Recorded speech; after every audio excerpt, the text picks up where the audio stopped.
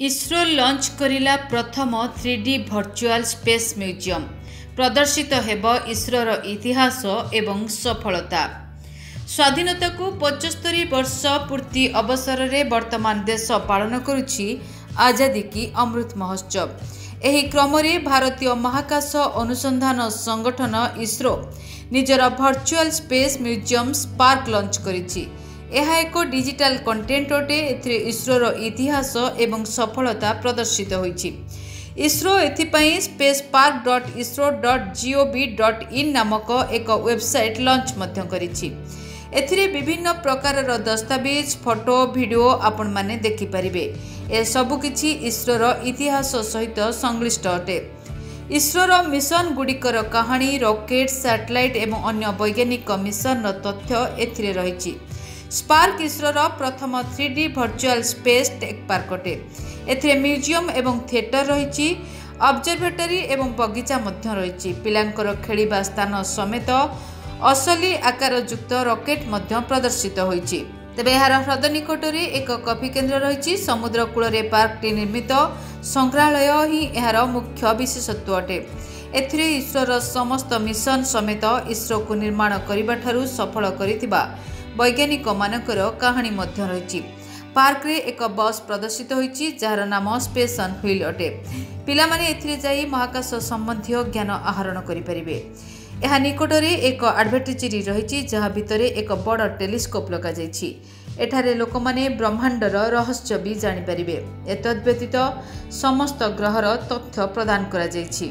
ତେବେ ISRO launch କରିଛି ପ୍ରଥମ three D virtual space museum Spark ଏଥିରେ ଜାଣିପାରିବେ ଅନ୍ତରିକ୍ଷର ଅନେକ ରହସ୍ୟ ଭାରତୀୟ ଅନ୍ତରିକ୍ଷ ଅନୁସନ୍ଧାନ କେନ୍ଦ୍ର ଇସ୍ରୋ ଆଜାଦି କି ଅମୃତ ମହୋତ୍ସବ ଅବସରରେ ନିଜର virtual space museum Spark launch କରିଛି ଏହା ଏକ ଡିଜିଟାଲ କଣ୍ଟେଣ୍ଟ ଅଟେ ଯେଉଁଥିରେ ସଂଗଠନର ଇତିହାସ ଏବଂ ସଫଳତାକୁ ଦର୍ଶାଯାଇଛି। ISRO S T P S ଅବ୍ରିକ୍ space park dot ISRO dot gov dot in ନାମକ ଏକ ୱେବସାଇଟ୍ ମଧ୍ୟ ଲଞ୍ଚ କରିଛି ଯେଉଁଥିରେ ଆପଣମାନେ ଅନେକ ଦସ୍ତାବିଜ ଫଟୋ ଏବଂ ଭିଡ଼ିଓକୁ ଦେଖିପାରିବେ।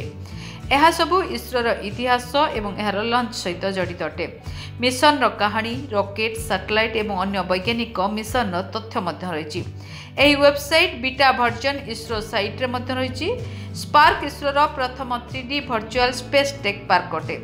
ଏହି ପାର୍କରେ ମ୍ୟୁଜିୟମ୍ ଥିଏଟର ଆଡଭର୍ଟାଇଜରୀ ପିଲାଙ୍କର ଖେଳିବା ପାଇଁ ପାର୍କ ବ୍ୟତୀତ ଅସଲି ଆକାରର ରକେଟ୍ ମଧ୍ୟ ରହିଛି।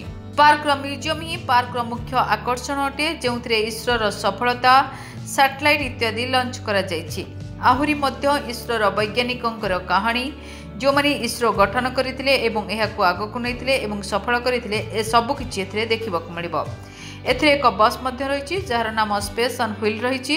ପିଲାମାନେ ଏଥିରେ ଯାଇ ଅନ୍ତରିକ୍ଷ ବିଷୟରେ ଅଧିକ କିଛି ଜାଣିପାରିବେ।